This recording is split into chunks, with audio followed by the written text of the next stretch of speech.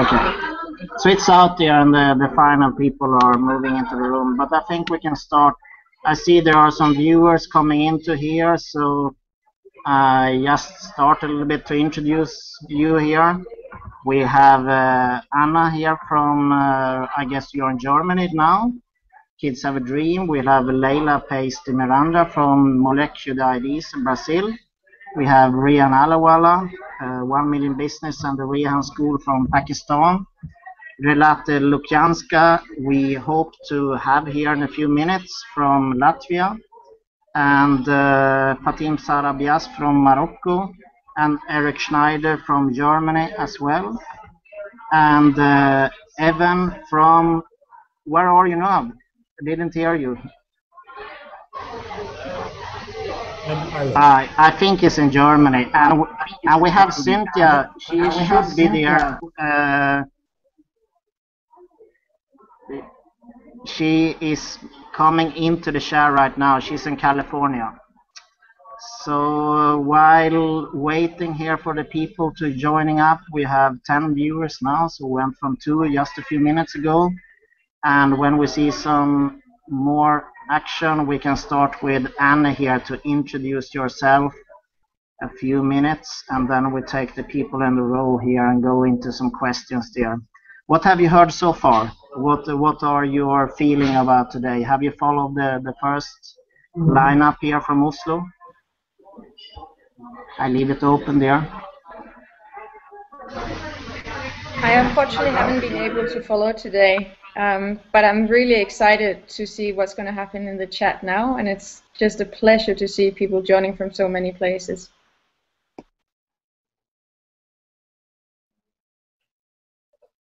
Well, I've uh, followed a little bit, and uh, I really liked what I hear.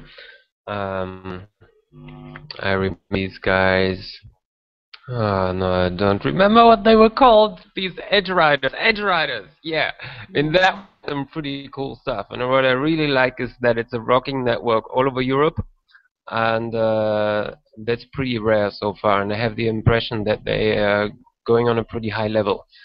Um, and I have to say, from my past 13 years that I'm in youth leadership and all this stuff globally, that uh, I have so far only met one little youth leader in entire Europe who would qualify for a Yes Jam of the awesome guys of Yes, Youth for Environmental Sanity, yesworld.org, who started youth leadership in 1992. And they have had jams of amazing young heroes all over the planet. And uh, in 20 years, there hasn't been a single one in Europe, and also because people wouldn't qualify for that level.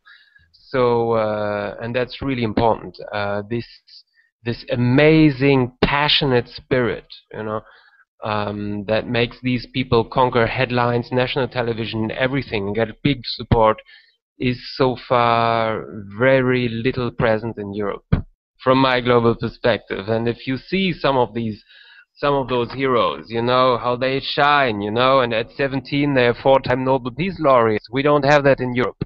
We got other people who have a 120,000 active youth from 4,000 schools at a global stage with the Dalai Lama, Deepak Chopra, uh, Al Gore and stuff in Canada.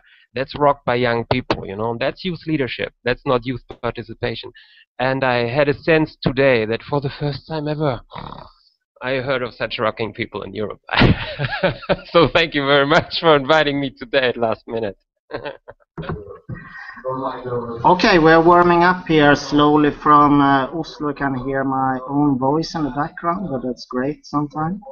Uh, we have so far two, three hours here with uh, with a nice discussion in the close to the to the water in Oslo, and uh, we will go very quickly through the for the people here in the in the lineup, starting with Anna from I think you're in Berlin right now. Anniksha Richard, Kids Have a Dream. So just tell about what you're doing and we go through the other people and then we have some solutions and some ideas and we take it from there. So first of all, it's a pleasure to join you from Berlin. Um, I've been living here for a year now, but actually my project started in 2006 when I lived in South Africa And I work for a fantastic organization called Nkosi's Haven, which was started by a little boy who died when he was 12 years old of HIV, but he had a big dream that he wanted to create a shelter where HIV positive mothers and their children could remain together. And I was so inspired by seeing the change that this little boy could create even after he had passed away. And I wanted to create an organization that allowed other children from all around the world to be inspired by his story, but also bring the legacy forward. So for the past six, seven years, I have organized workshops in collaboration with local teachers and social workers, where I have asked young people between the age of 10 and 15 to draw their dreams for the future. And after each workshop, I collect the dreams, and now seven times I have organized exhibitions, in, mainly in Scandinavia, but also in Japan, where I have shown dreams from 23 countries, mainly to young people, but the whole idea is to use the ideas and inspiration from young people to inspire um, essentially the entire globe, not just young people. The project Okay. that I, and just the last thing, the project I'm working on right now is to create a database of dreams where um, we can collect dreams from 100 countries and we'll show them on the Berlin Wall for the 25th anniversary of the fall of the Berlin Wall. Thank you. Okay, uh, Anna, I think you have to go out from the from the hangout and go in again because we can't see the other people. But we continue with uh, Cynthia LaGrue from uh, California, and uh, hope it will work. It's a very dynamic environment, this, and we're learning from day to day how to manage it. It's a lot of complexity and echoes, but this is how the real life works in the digital space. So welcome here, Cynthia. Thank you. Thank you for having me. And this is a great experience. I love the graphic that's on the Living Bridges webpage. It's a, a bunch of skydivers kind of coming together and connecting, and this is kind of what it feels like a little bit. So it's a really thrilling opportunity. And uh, so um, I'm executive director and founder of Compathos Foundation. Uh, we're a Arts and Media Foundation that um, we do media production, film, and we work with a lot of artists around the world. Uh, we also do a lot of education and research screenings, things like that. Um, we're harnessing the power of the arts and media to inspire transformation, global citizenry, and social action. And um, the whole idea of Compathos is the word compassion combined with pathos, and pathos is a story that moves the viewer to action.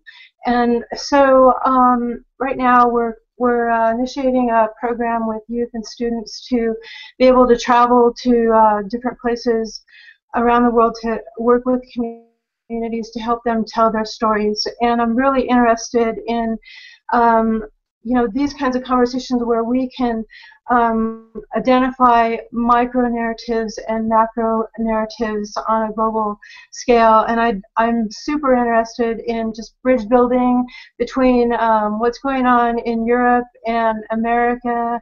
Um, how can we bring uh, people together within um, different communities? How can we kind of set a fire to this? I think that um, storytelling is a huge part of that. Um, there's so many great stories to tell. And so um, Compathos is a real platform to do that. We love to curate and put um, stories that inspire others out there. And I've heard so many inspiring stories this morning or this evening. I'm, I'm in California. So um, I just want to thank you so much for inviting me. Okay, we go to Evan. I think you're in Germany as well, but you are originally from Dublin, Ireland. So tell about what you're doing there. Um, hi. So yeah, um, I'm in Ireland at the moment, and I've just gotten back here after a period of away. Really, I've kind of been traveling since about 2011, and in this time, uh, I just kind of learned about the world of uh, social change and like well everything that we're talking about here. And about I've always been interested in distributed communities, and so started to get involved piece by piece. Um, attending different events, participating, and I suppose reading local newspapers, finding out what different governments are offering, and everything else. I'm sure you're all very familiar with the process. Um, at the moment, coming back to Ireland, I suppose I've tried to join different networks and I've tried to uh, be effective online, but I feel that there's a, a real importance of connecting people uh, and place and getting the feet firmly on the ground and personalizing the home front. Uh, in Ireland, at the moment, there's a massive amount of need. I'm sure you're all aware of the uh, the global situation. Um, but there's also a lot of uh, openings there. There's a lot of enthusiasm and I suppose the double edge of the of the bust in society is that the communities are coming back together again. That people are starting to talk. There's more local innovation and community development. But for a lot of these cases, the tools that are necessary to do the job aren't really available. And these tools for local community development are coming from, I suppose, interactions like this, where we're each learning from each other and everybody has their different set. Um, and as these begin to come together and the stories come together and the sharing of these stories mutualize uh, a value system and an, an approach. Um, like this whole process uh, is aggregating a, a, big change in kind of the community in general. Um, in Ireland at the moment, I'm here to to try to facilitate that. Uh, my background then is in uh, the philosophy arts. I got involved with social business and uh, European project development, but I teach dance and circus uh, to kids and um, I'm also quite uh, active in a bunch of different uh, networks involving everything from impact investment through the commons through all of those, all of these uh, modern emergencies, and uh, um, and that, that, that's really it. There, I'm kind of listening to the stories and um, already kind of joining the dots. I think partnerships for change so far, the, the the thing that's standing out for me the most is the youth work and the potential for linking up uh, youth developments uh, across the world. And then, like the girl earlier on from Mama Wamita, she was talking about selling beads, you know, and I'm sure those same beads could sell in California, um, probably for a, a, lot more. And uh, they can sell in uh, networks like uh, the Youth Cafe network that's developing in Ireland. Um, Borders creates potential for cultural education for kids who also get to learn the process of, uh, yeah, well, they learn about awareness about the globe, different connections and, and conditions in different places, and also um, about how to build the social structures necessary to, to connect and, um, and have those mutual connections work for each other. Um, um, yeah, that's it really. Hi. Okay, thank you very much. Uh, Eric from Schneider, he was here. Well, hello everyone. Uh, my name is Eric Schneider, and I'm joining you um, as the director, youth leader Youth Leader started as a magazine to uh, bring the stories of the great change makers of today and their model solutions, uh, where there are thousands in Ashoka and all kind of places, uh, in a fresh, lively, dynamic format to the people, and especially to the young generation. Because from my point of view, everybody age 20 plus usually can hardly upgrade the operating system to run this awesome integral software of changing the world and uh, many of us don't have the time. Okay, the few that do are here today, but the majority population, it's kind of difficult to get to them. Um, uh, so I really want this change-making world and the new meme set and opportunities for action, and especially the embodied manifestation, real people, the heroes of today. Lots of youth leaders like these folks. Um, in schools today. And as you've seen here, these are posters. These are very small printouts. You can print them out big. Imagine an exhibit of 40 such posters along with QR codes, videos, teaching tools, take action packs, and even a monthly webcast tuned to current United Nations days. Upcoming is Day of Youth, then comes Day of Peace for peacemakers, then comes UN Habitat for lots of model solutions for changing the awesome city we all want to live in this is the stuff I work on, and uh, I collaborate closely with uh, these youth leaders and adult change makers, very famous people, um, because they have the time and they love connecting into the education sector. So mm-hmm. um, I basically also redefine the image of passionate youth as our new highly gifted. So if we have three or ten kids at school who are empathic, who have empathy, interested in global issues, and uh, are social entrepreneurs. Uh, these people are showered with awards, you know, and uh, it can't be that in school we tell them there's no time for this. You should take care of your C in chemistry. So say, look at them as the highly gifted, you know, uh, in music or in sports, and give them opportunity to practice their skills, their change-making skills, in a self-organized learning environment uh, by also benefiting class activities, performing in public, making headlines. It's great for the status of the school too. So that we switch the view of what these talented change makers are like for the multipliers and the teachers in education. And at the same time, these uh, wall displays with posters, with videos, with monthly campaigns that's a learning environment. It's the same kind of learning environment that you that we use at our gatherings of changemakers, and they connect with it online through webcasts. So I call this an informal sustainability learning environment. so I make leadership congruent with progressive education, and it works really well because I got lots of these flags, and these flags here are by UNESCO, and uh, it's an official project of the United Nations Decade of Education for Sustainable Development.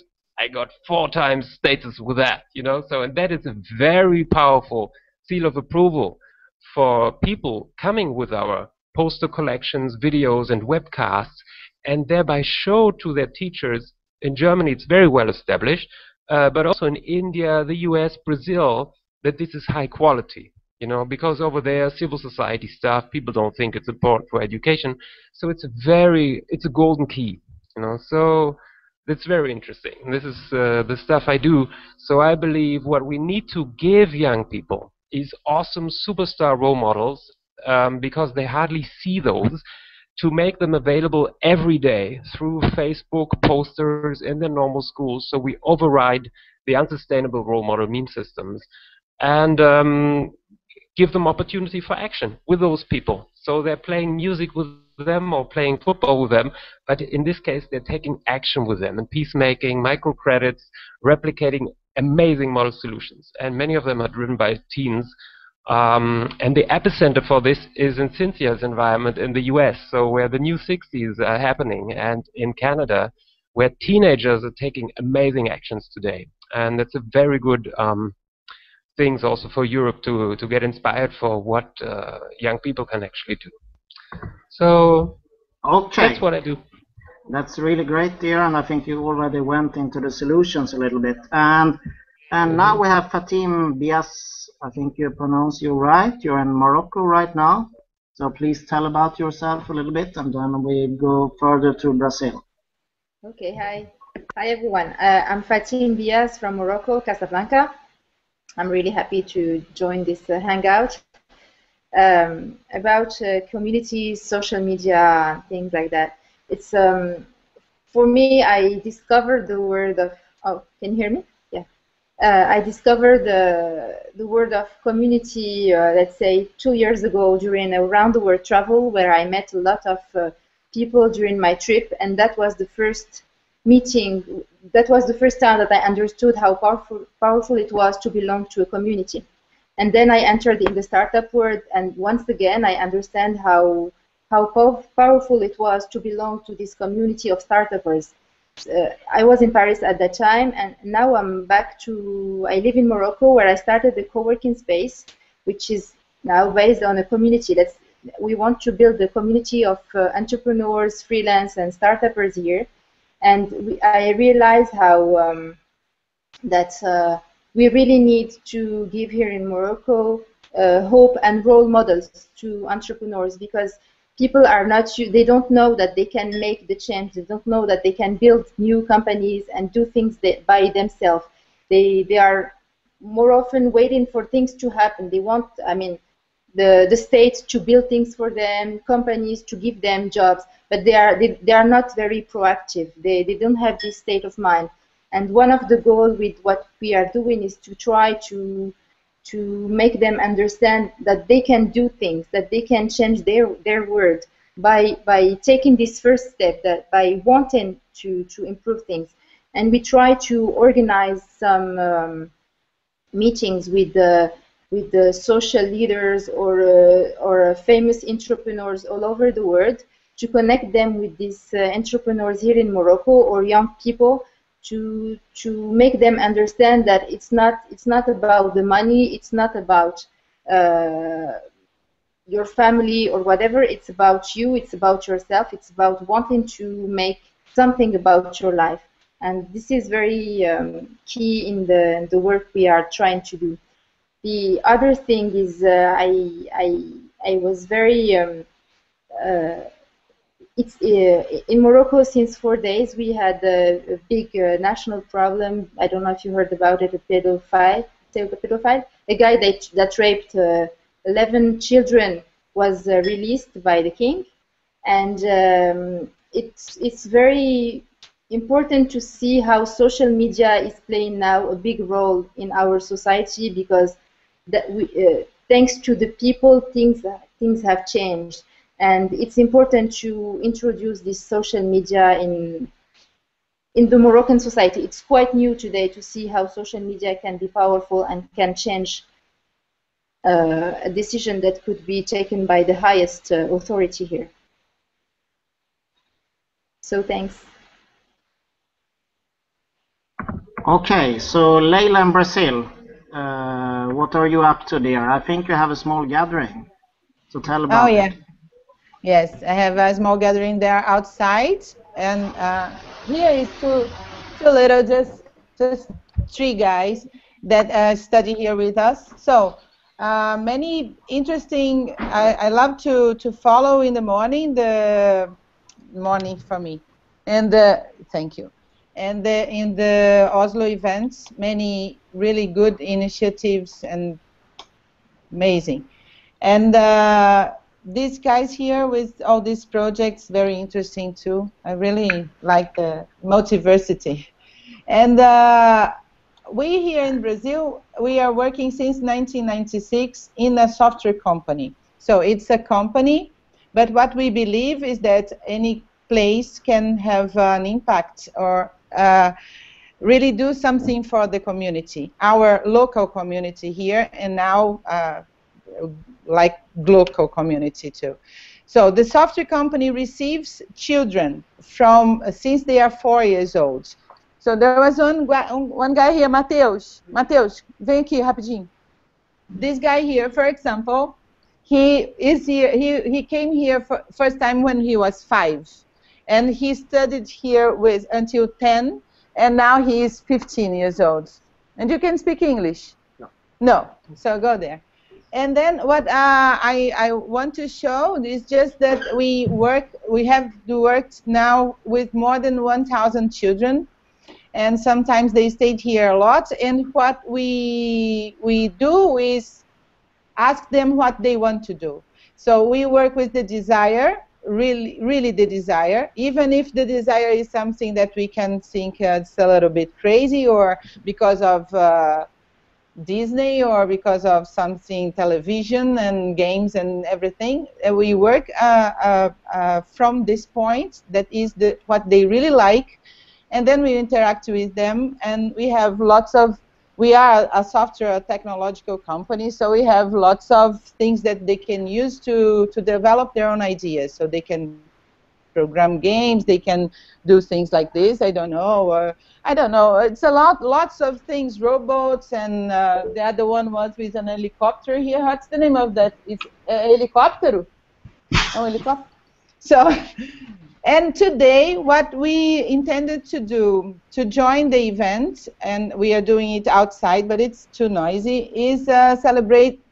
We tried to celebrate the future that we could create in 10 days. So 10 days ago, we began to with uh, with with the group that comes here to um, what what what are we going to celebrate in 10 days? And what we did was uh, like food.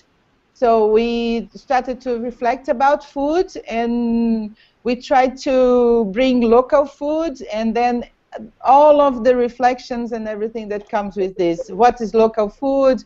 Are we what what what is food for the community and and that's what we are doing today. It's a gathering. We love to celebrate. We think this is the best to join people and to work together. So I'm very happy to be here celebrating the future with you too, and and inventing it. Yeah. Okay, Rehan, uh, you are the final one here in the lineup right now. You are all over, all over the world, so please tell about you, and what your ideas and dreams. Um, thank you, Bert. Thank you, everyone. Great to listen to all these great people here. Um, I was enjoying uh, Fatim about the social media in Morocco. Um, it's very difficult to make friends in Morocco for some odd reason. I don't know what's wrong with Facebook. is not very common. I don't know. Um, for that, um, well, some of you might know. Basically, I come from Pakistan and Pakistan faces 50 to 70 percent illiteracy, um, which means that 50 to 70 percent of the country, which is um, 70 to 100 million people, or even more, uh, cannot even read their own name in any language. Uh, similar problem is in India. So 700 million people cannot read their name in any language, not even native language. Um, however, mobile penetration is very common so uh, we have started to make uh, videos uh, which can teach people basic character recognition and basic English in three months. and that's what I've been doing for the last six, eight months. And the latest versions of the videos, uh, we have released the ver ver two versions so far of the school DVDs.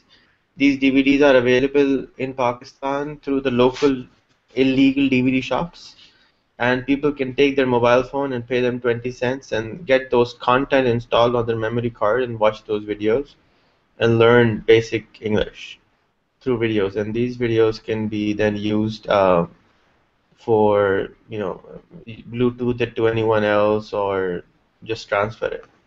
Um, the latest versions of the videos we want um, Rowan Atkins and Mr. Beans to perform them so we've created some mime based videos where people can use uh, the content um, anywhere in the globe. For example, in Somalia, there are 22 languages. So instead of trying to create 22 different versions of videos, you know, why not create content which is uh, understandable in by any language uh, person? So that's that's some of the work we have done. Um, I don't know where to share the link. I can share the website of the content. You guys can have a look and give some feedback. Um, I can also share the introduction video. Um, um, it's on rehanschool.com, but I'll share it with Bert here, which you guys can then. Uh,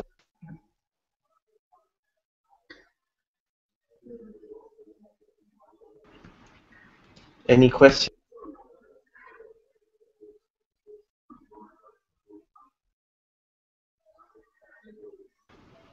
Okay, uh, I think that was uh, really great, Rehan, and I would also like to introduce you to Willy Scholl, who is part of the Living Bridges team. And Living Bridges is a type of a bridging community. We try to bridge communities like you have seen today, uh, which share similar interests around the world, but we also try to bridge the digital and the local spaces. And one of our experience over the last two years is that it's really complex just to make a hangout like this when you do it with Africa, maybe or India, because you have energy fallouts. In some countries, you're not allowed to show it. It doesn't work for some moment. So an important learning is that you really have to to be open for for change. You can't plan in a linear way and be perfect. That was the first learning and also to bridge the the local and the digital space you need a lot of people to bring that space into living. So Willy here is sitting behind and managing and harvesting the information now to other social media spaces.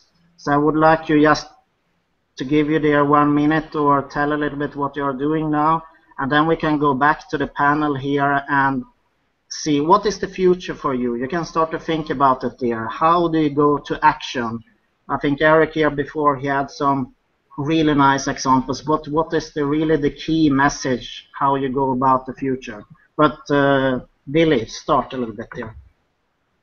Yeah, I'm uh, doing this professionally since 1995 to think about the future trends and innovations. And uh, lately, since 2010 or so, I'm concerned about the future of mankind in total. And so I'm thinking about social innovations much uh, more than before because uh, we are in danger to have too much technocracy and not to think about social and cultural innovation.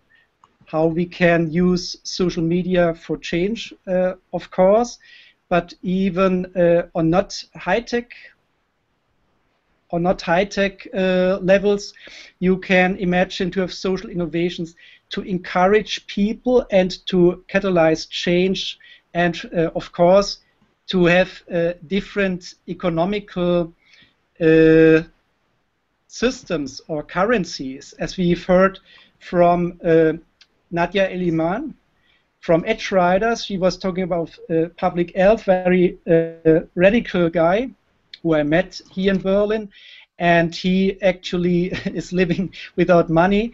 And I hope uh, we have solutions who are more compatible with mass and mainstream. Uh, else, maybe one day we uh, lose control of all of it and uh, we have no choice and actually we live without money.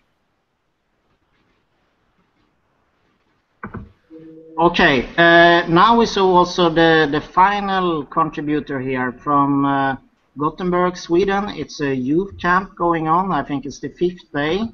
And uh, I see some people there, so we let you introduce you. Can you hear us? Uh, yes, ma'am. Hello. Tell Hi, about- Maybe you can introduce. Yeah. Hello, my name is Hamuna. I'm from Georgia. Uh, I'm now using exchange project in Sweden, and I'm very interested in this conference. I'm what's going on because the same problem is in my country as well. I think it will be good and experience to hear another country. Um, and we're from Tipsnätverket in Bergsjön, which is the hosting organization. So it's lovely to see you all. So now I are wanting to join. No? Okay. so yeah, we've been talking about and empowering youth all week. And it has been very interesting, like to learn about how it's done in many different countries. We are five participating countries. The country has its flavor, and every youth culture has its own way of empowering um, and creating jobs and so on. So, yeah, it has been a very nice experience. Yeah. And we have some more people there in the in the And, uh, hangout as well. Um,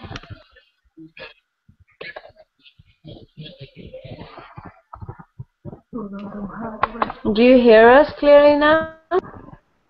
Yeah, we can hear you, but it is a little bit blurry there. So we we go to to Anna in uh, Berlin there, and uh, if you have some headset, it's uh, it's great. Otherwise, we continue. Okay. So, okay, Anna there. Uh, from what you have heard here, what what do you think is the really key to go to the to the to the next step? What do you mean? Wait, Yeah. I'm talking about If we are going to the to the future, what and to empowering youth, what is the most important part? What what should uh, what should uh, institutions do? How could you support uh, movement forward?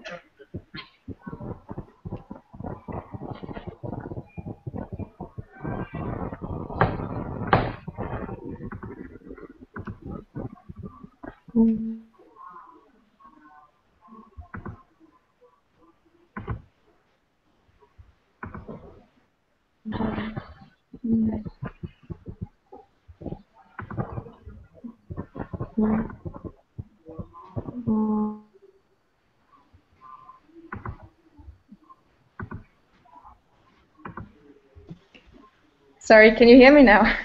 Yeah. Good. Did did you did you just miss what I just said? I think my microphone was muted. Yes, yes. Okay, sorry. I'll just repeat it quickly. I think the most important part is that we need to learn how we can design organizations that have um, the ability to go viral very, very quickly um, and empower all the people in the network to, to become active. So it's a totally different approach to how we build organizations in the past that was sort of a top-down, but I don't even want to say a, a bottom-up because I think we have to rethink the way that we create organizations to allow people to be a much more networked um, and much more connected on a global level. And Cynthia from uh, California, what is your message ahead? What is the most important things you can do as an institution or to empower youth ahead?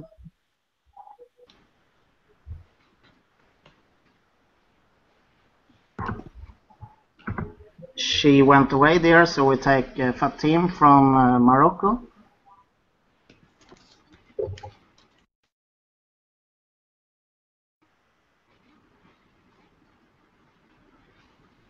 Hello?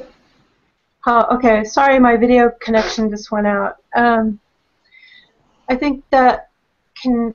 Am I live on this? I guess so. Um, for me, I'm really interested in just the idea of press freedoms and keeping um, our freedoms to, uh, to communicate. Um, I think that's a really important part of democracy. Um, so I'm looking for ways to uh, collaborate and form systems where people can, can keep their communication systems open, regardless of the challenges. Can also see here from Latvia, Renate is joining from Latvia. I, may, I think you have maybe some problem earlier, so tell about what you are doing there.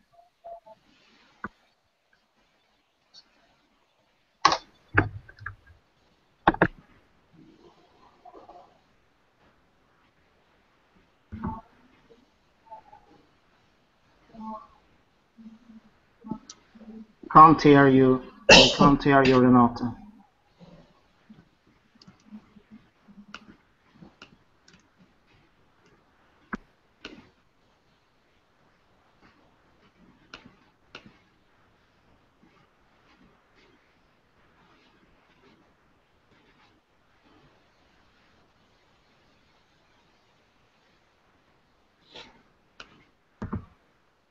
Okay, we go to Brazil to hear your view there.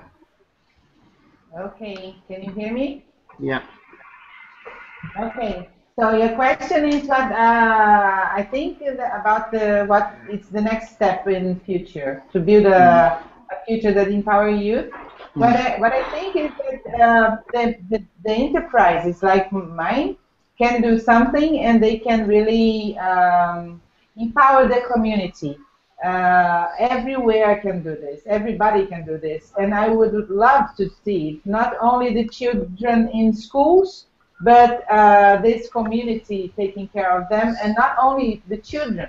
Uh, when I, I know that the and I think all these initiatives of everybody doing what they want to do, even if they are a little bit different from each other, it, it's it's very very healthy, and it's if you stay connected like we are now, it's even healthier.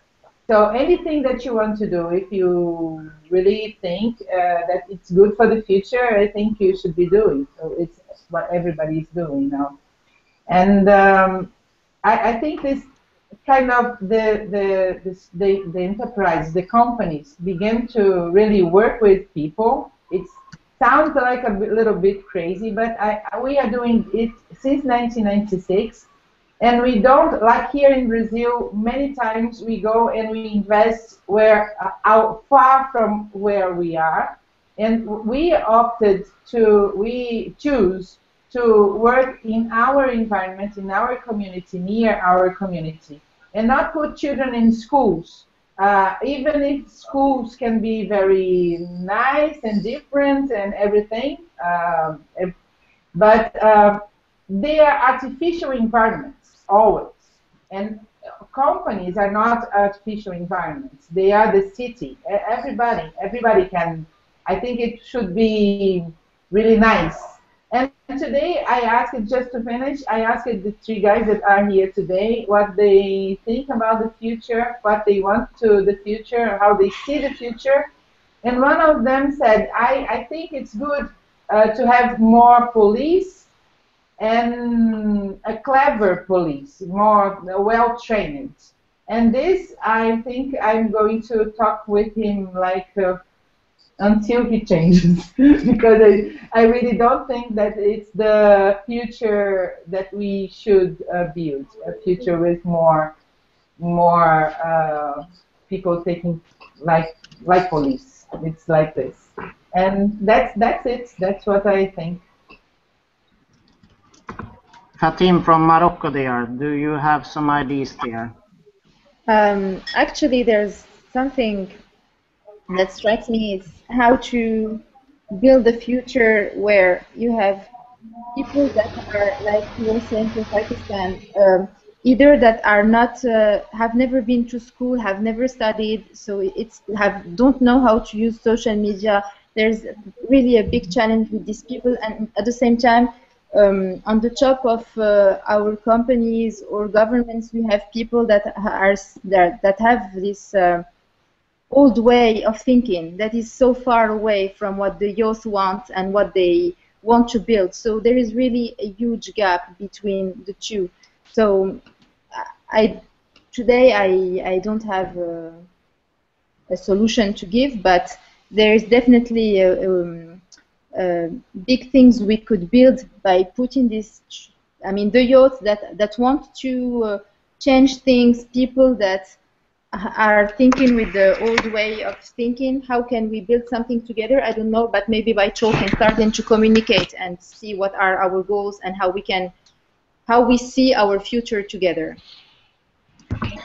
We also lately here came to Lane Hartzell in Bangkok. So can we have some input from there? What is your view on it from, from Thailand and uh, Southeast Asia?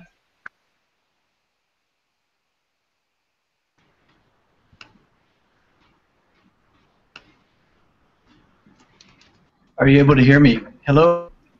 Yeah, I can hear you.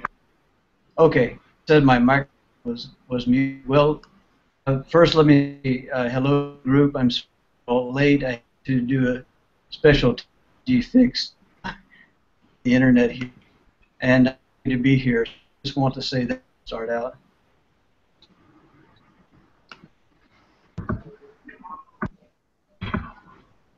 Okay, and uh, what are you doing there right now in Bangkok? Uh, at the very moment, it's uh, 1.30 in the morning, and um, I'm, I'm in Bangkok for meetings uh, related to the Asia Institute. And what are you doing there, and what is your engagement? I know you're involved in the new type of collaborative systems there. How could they be part in uh, engaging youth? Okay, yes. Uh, work is philosophy, and technology uh, related to um, especially in third world countries and development. Um, also working in projects and so on, and the the the efforts to uh, well, I mean, on, on the groundwork is education and uh, helping to get. Uh, okay, how do I stop video here? Turn camera off. Okay. Can you hear me now? Okay, Will. Yeah, yeah, we can hear you. Yeah, it's fine. It's much better. Thank you. Okay. I'm working on uh, some farming projects, educational product projects, um, teaching, and so on. Uh, peer-to-peer is a little more complex for the youth, but we can uh, also work in those kind of projects too. We can see some party there, some celebration. I think it's in Brazil. Can we get some voices from there? What you're doing? Some some inputs.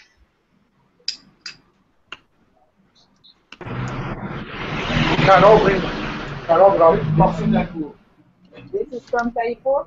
So this is just for you to, to see a little bit what we are doing here, but it's too noisy. But there are many people here, and we try to do this. We brought many things from our houses, and, and we this is this I knew since she was a little girl, and that's it. Okay, okay. I think it's yeah. I think it's time to wrap up here a little bit. It's getting uh, evening in Oslo, and uh, I think basically what you have seen here today in the Hangout is really, if you're going to do the, digital space, this is what you can, uh, can encounter. It will be a lot of uh, noise. It will be different to difficult to coordinate, but if you use some collaborative tools working, you can do quite a lot. And what we started a week ago is uh, basically connected these projects and 75 other projects around the world who were interested in taking this uh, celebrating the future to the next level. So we have a document here that we can share to you all and that you can contribute with your IDs, with your links, and we will harvest it later and continue from here. And I just yesterday got uh, an input from Haiti, a guy on Stanford, who have a social tech challenge with the first time when they bring entrepreneurs from Haiti and Dominican Republic in two weeks from now to work on sustainable solutions. So we will provide them the data from uh, celebrating the future so they can increase the value on the people, the connections, and the ideas that has been put into this. So in that sense, we hope that you can continue from here and to really connect people and ideas in the future. And hopefully we can join up again in a few months or having a Google sessions and you can just relax in the digital space and be a change maker. So that is what we try to facilitate and to inspire other people. So thank you for tonight and hope you will be back later. See you. Bye bye.